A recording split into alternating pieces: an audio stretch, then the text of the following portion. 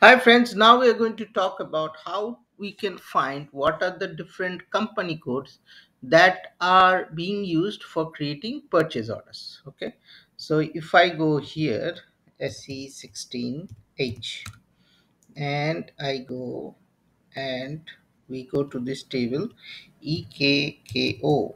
Okay, because that's the table the header table where the company code gets stored and here basically here you can see i will just select company code and i'll do a group by.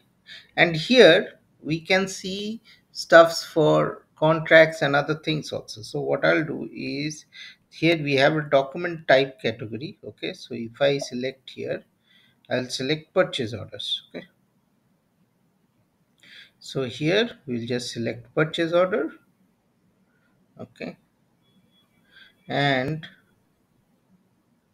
now I'll just execute. Boom. I'll get all the company codes that is being used for creating purchase orders. So here you can see you can do a sort descending which which are the ones that are the highest. You can see this is the company code that is used the more the highest and there are others. So this is very very useful when you're trying to analyze the system. Sometimes there might be cases where they say basically suppose you need to test the system. So you want to test it's not possible to test all the company codes.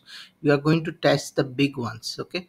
Like the top five. And accordingly if it works for the uh, for this it, the others will also work provided there is no enhancements. So this is very essential